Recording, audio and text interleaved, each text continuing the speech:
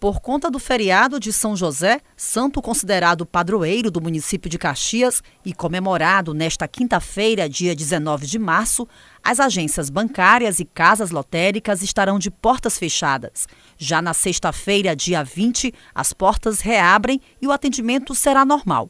Bancos funcionando das 10 horas da manhã às 3 horas da tarde e as lotéricas das 8 da manhã às 5 da tarde.